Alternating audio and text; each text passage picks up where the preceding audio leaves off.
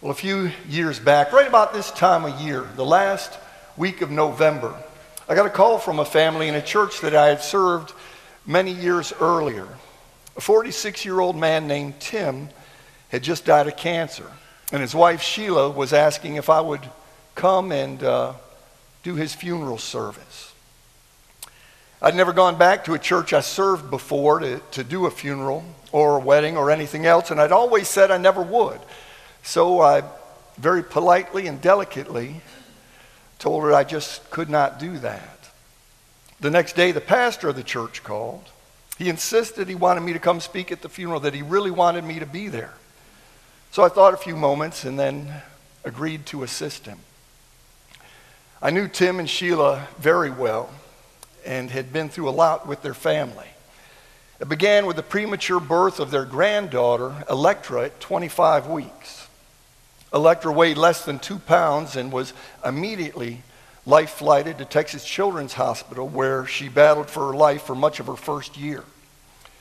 During the first few weeks that she was at Texas Children's, the doctors told the family Electra was in the worst condition of any preemie in the hospital. And since it's often only the most critical cases that come to Texas Children's, they did not expect her to live. But Tim and Sheila, their family, friends, and the church family, we didn't give up. We kept on praying, and Electra kept struggling for life. That little girl had eight or nine surgeries during the first year of her life. She had them on every major organ in her body. And several times, just before she was taken into surgery, the doctors approached the family and said something like this Electra needs this surgery to live, but it's highly unlikely she's going to live through the surgery. And if she does make it, we don't expect her to live for very long. So, we recommend not having the surgery. There's no reason to prolong the inevitable. Tim and Sheila and family always listened, but each time felt compelled to go ahead with the surgeries. And as Electra pulled through them again and again, they witnessed what the doctors called one miracle after the next. Little Electra was an inspiration to people in the hospital, to people in our church, to people all around the community. The way God was working through her life helped move many people to a much greater, much deeper faith. She was a visible sign of God's power and love. She was a source of hope to a whole lot of people. Just about the time the family began to relax about Electra's condition, Tim was diagnosed with cancer. He had lymphoma. So he began a series of treatments with faith and with confidence in God, with a lot of prayer, and with great hope for healing and a much better future. Soon after Tim began treatments for his cancer, his wife Sheila was diagnosed with breast cancer. She went through chemo and radiation. She lost all of her hair had a few surgeries, and she did it with grace and an unwavering faith in God. And while Tim and Sheila were both engaged with their own battles against cancer, Tim's father, Jack, who already had a serious lung condition, was diagnosed with lung cancer. Talk about a family facing adversity. Well, Tim was eventually told he was in remission. Sheila got the same news, but Jack very peacefully, with grace, and with joy, went home to be with the Lord about a year later. The family endured all of that in about three and a half short years. For some people, it would have been far too much. They would have collapsed under the weight of it all. And many would have given up on God, but that family never did. They held it together. They kept praying Prayer actually helped them hold it together. It kept them strong, and they came through it, through every bit of it, with more faith, much more faith than they had in the beginning when little Electra was born. So, three years after Jack's death, when Tim was diagnosed with cancer a second time, this time with untreatable esophageal cancer, just several months after he'd been laid off, the family faced it with faith in God who kept on bringing them through. God had blessed the family. God had been gracious to that family, and they knew it. But this time, with the esophageal cancer, The miracle of physical healing they were praying for did not come for Tim. The family did, however, take comfort and still takes comfort in knowing that God is real and loving and powerful, that his promises are true, and that Tim is with Jesus in his heavenly kingdom today, along with his father Jack. so it was a packed house at Tim's funeral. They'd had an impact on many people in the community. And as funerals often are, it was emotional. And it was beautiful. It all went so well. And the very best part came last. As the service ended, Electra, who was six years old and in first grade at the time, walked up on stage all by herself to speak for the family. She held a microphone in her tiny little hands, and she read these words We would like to thank everyone for coming and celebrating my pawpaw's life. Then she looked up toward the heavens and she said, We love you and we'll miss you, Papa. The church erupted with applause and laughter and tears. The sight of Electra on stage, the sound of her voice reading those words so beautifully and flawlessly was so sweet. But as you know, there was a whole lot more bound up in that moment. That miracle child, Electra, who wasn't supposed to live. That miracle child, Electra, who when she did live wasn't supposed to ever be able to walk or talk let alone be able to read or have a normal life. That miracle child Electra was a powerful, visible reminder to everyone there of our God of hope.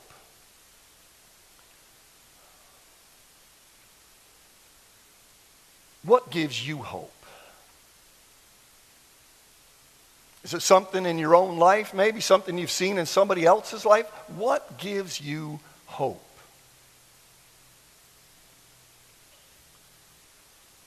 Jesus came into the world to give us all hope.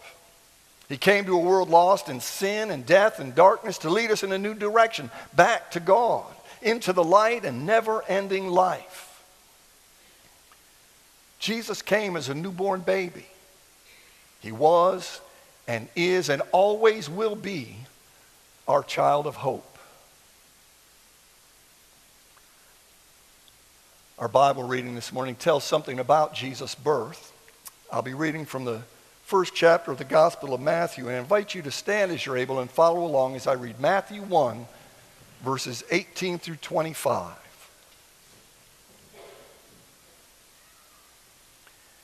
This is how the birth of Jesus Christ took place.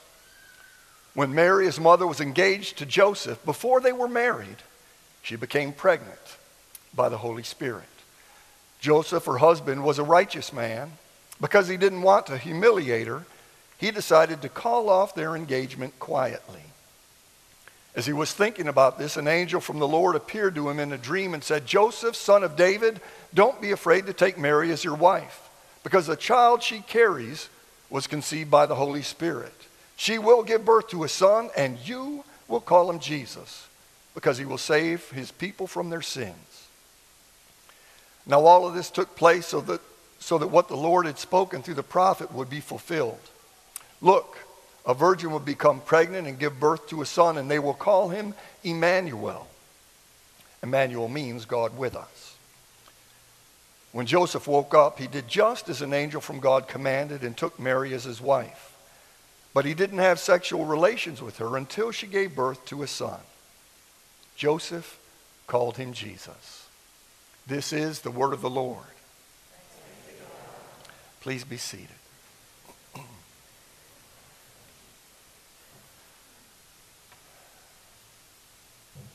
God chose Mary to give birth to his son. One reason God chose Mary is specifically because she was not married. It may sound a bit odd at first, but it was the best way. It makes sense.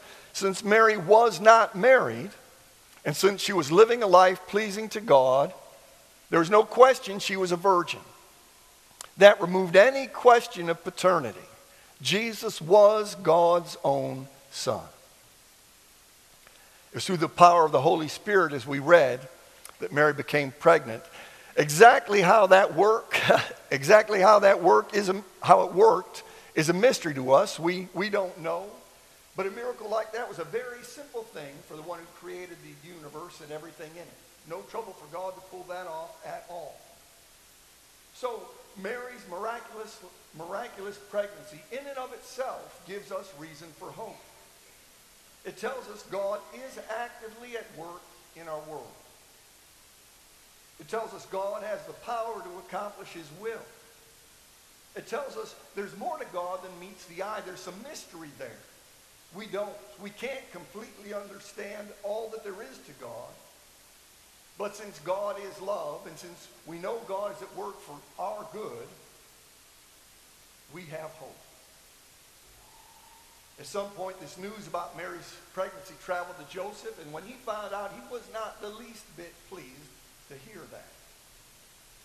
His fiancee was pregnant, and he knew he didn't have anything to do with it. So he decided to call the wedding off. He was done with Mary. At that point, he felt he only had a couple of options. He could either expose Mary, humiliate her and her family, and, and possibly uh, subject her to being stoned to death for what he thought she had done, or he could quietly call the wedding off and simply walk away. Joseph, being good and honorable, chose to walk away quietly. But then God sent an angel to him in a dream, and the angel explained everything. That Mary hadn't been unfaithful. There was no other guy. The child she was carrying really was God's own son. Suddenly, Joseph realized there was a third option. And if he wanted to be faithful to God, the angel told him it was the only option. According to the angel, he needed to hang in there and marry Mary. So Joseph's encounter with the angel also gives us reason for hope. It tells us God intervenes in the lives of people facing difficult decisions and confusing situations they just don't understand. It tells us that with God, the best option is something we might not even think of or consider on our own. And it tells us everything works out best when we follow God, when we listen, and when we let God lead. looking at the ways Mary and Joseph let God lead their lives in the days leading up to the birth of Jesus gives us hope. But the amazing things God did through Jesus after his birth, during the days he walked this earth, provide us with the greatest hope the world has ever known.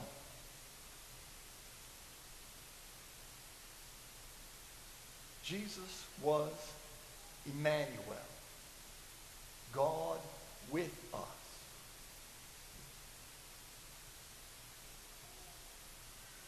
For me, to think that the God of all creation, the source of everything good and just and righteous, the loving, pure, all-powerful God, to think that God wanted to be in the world with us, living like us, walking among us, knowing our temptations and sufferings, to think of God in this way is a source of great hope. Since God was one of us, God truly knows us. So we can rely on him even when we feel overwhelmed and cannot see a way forward. We can rely on God to save us, to guide us through life in this broken world and into a life in his kingdom that is far better, far more beautiful than we can even begin to imagine. Jesus brought that hope into the world. He also gave sight to the blind, made the crippled get up and walk, cleansed people of their diseases, gave hearing to the deaf, raised the dead to life, proclaimed good news to the poor. Jesus offered people, all people, what they needed most. He met the sinful right where they were, then challenged and encouraged them to live better lives. There was hope.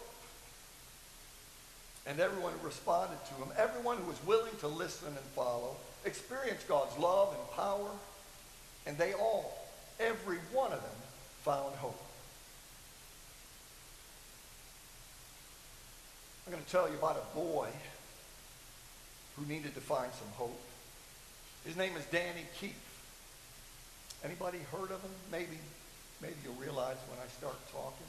Shortly after Danny's birth, he had a massive brain hemorrhage, and he wasn't supposed to live. His mother didn't think she was ever going to bring him home from the hospital.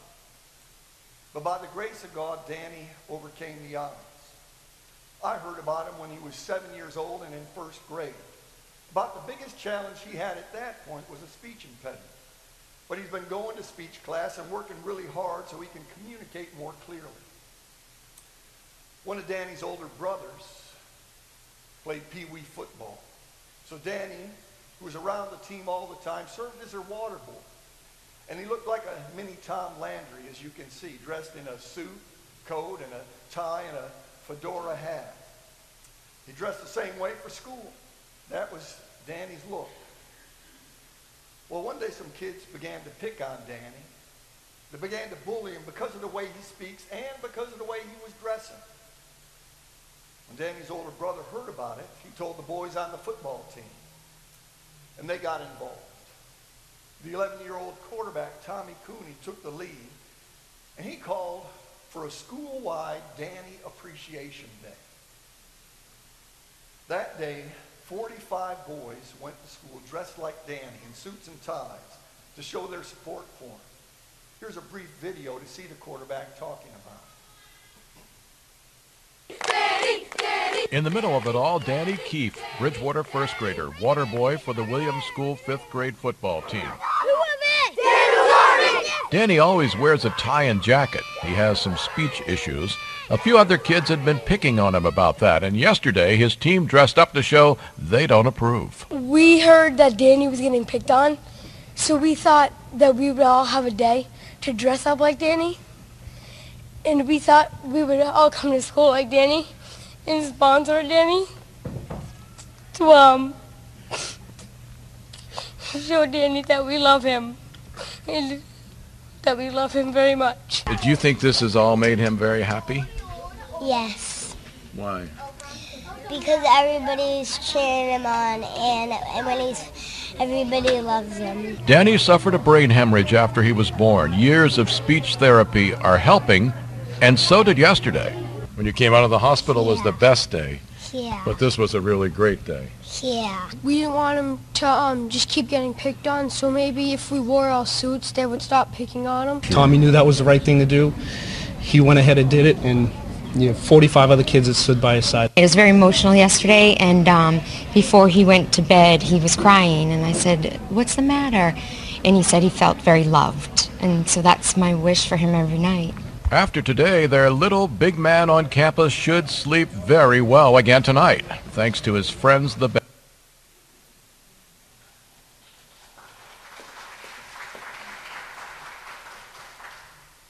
Danny's parents, you saw them speaking on that video, they were overwhelmed by the support uh, their son received.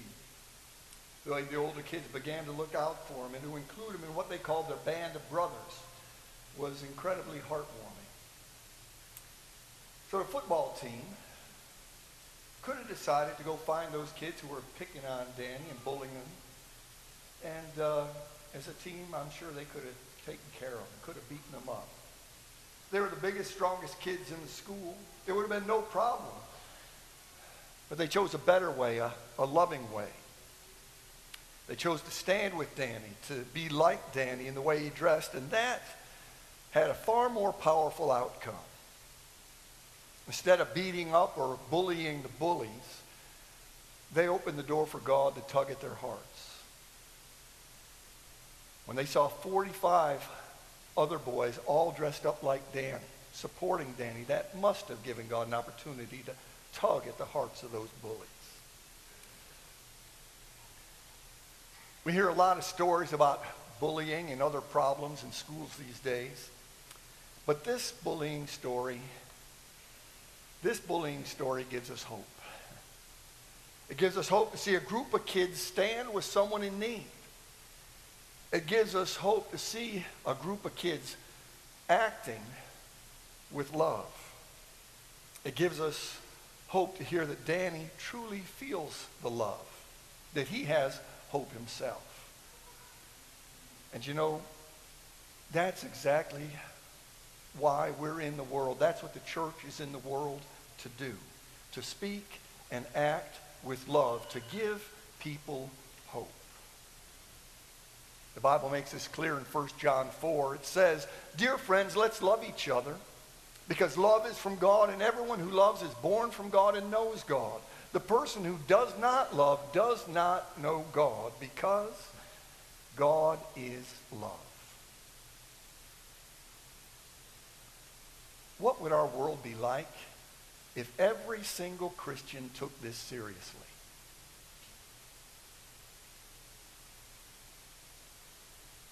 What would it be like if we all stood with the powerless?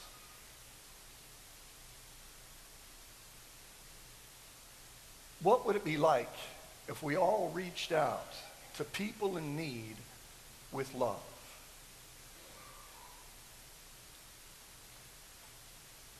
There'd be a whole lot more people telling others about what God has done for them. and this world would be filled with hope.